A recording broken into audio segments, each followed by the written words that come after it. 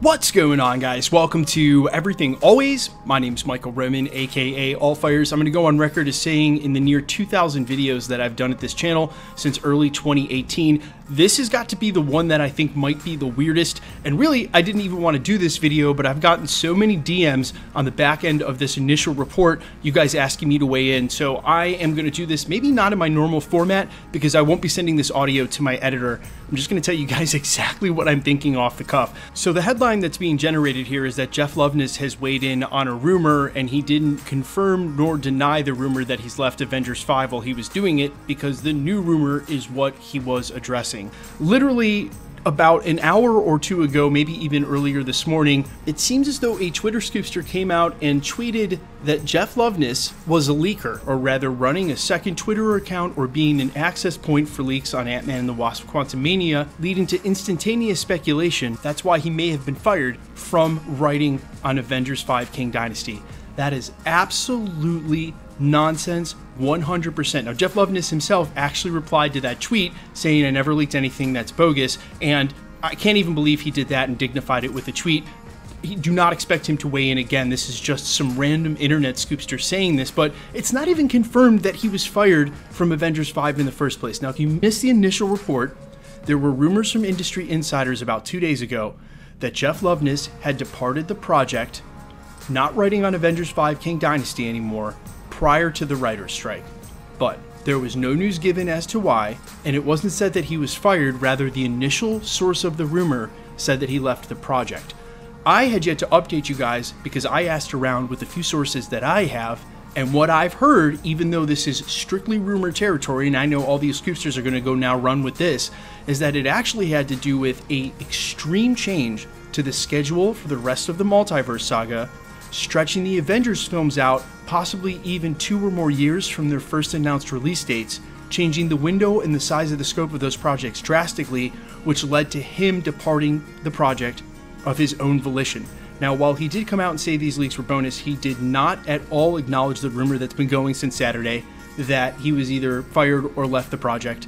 And I again don't expect him to do that either. This wasn't a confirmed rumor in the first place. But to think that a Hollywood writer would take to a second Twitter account to leak information about the script that he worked on is absolutely asinine. It is beyond, is literally beyond ridiculous. It's almost borderline insane.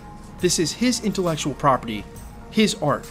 I make music and would be absolutely devastated to my core if my songs got leaked before they got released, even though I know that in this day and age, in 2023, leaks are what actually add to marketing. And I've got some friends who are high level record executives and managers who actually encourage re- leaks, who have actually on purpose leaked songs for their artists. And we're talking about artists signed to Columbia who have millions and millions of listeners. And perhaps Sony themselves went ahead and did the whole Spider Man leak in 4K for Andrew as we were leading up to Spider Man uh, No Way Home. It is a possibility that those companies were actually running on purpose leaks, but that is something completely different than a guy who writes a script for Marvel Studios taking to the internet to then somehow leak the details of his own script. That's ridiculous.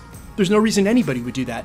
And he's also a Hollywood writer. This is the top of the top. Look, I think too casually especially in the media these days, it's so easy for people to hate on things, believe in things, and I have tried so hard at this channel to separate fact from fiction and tell you guys exactly where we're at. No matter how many times I remind y'all to take everything with a grain of salt that doesn't come from Marvel Studios, our imagination likes to believe the stuff that we hear. We know that only 1% of the stuff posted to 4chan is actually going to come true, but for that 1%, we stay excited and we're willing to read through the fan fiction in the meantime. But when it comes to someone's livelihood and their actual career, I just, I, I you know, I, I cannot actually believe that anybody, A, would leak their own Hollywood script or details about it, or B, someone in Jeff Loveness's position would have anything to do with Twitter scoopsters and the rumors that pop up online anywhere 4chan, Reddit, Twitter, regardless. Now, you guys do know that publicly there was an issue legally with Ant Man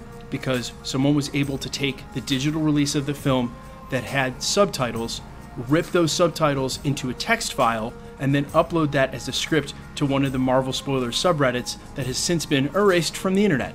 And you know, it's one of those things where they have been investigating it and trying to find it, but I, I just, I just think to myself, the fact that anybody would connect A with B. Now, listen, this is way different than having proof of something, but some Twitter scoopster who's barely known on the internet implying that Jeff Loveness leaked his own script is beyond ridiculous. And I just hope that everybody uh, who's at least a part of my community has a skeptical enough mind to, to not buy into something that ridiculous uh, just because it's said.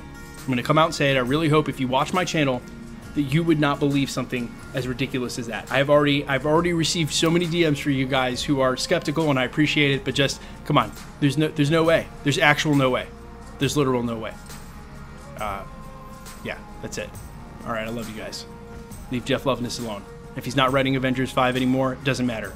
He wrote the Vat of Acid episode on Rick and Morty. If you haven't seen it, you should watch it. It's singularly maybe one of the best episodes of television of all time, and certainly one of my favorites. And in and of itself, is almost the perfect vignette of a roller coaster of emotions, uh, leaning on the pantomime and the ridiculous. And honestly, if he never writes another thing, God bless that man and protect him. Seriously, I'm I'm I'm, I'm standing as hard as there are. Jeff Loveness wrote uh, and has written some amazing stuff, and I'm sure has a career ahead of him writing some amazing stuff, regardless of Marvel.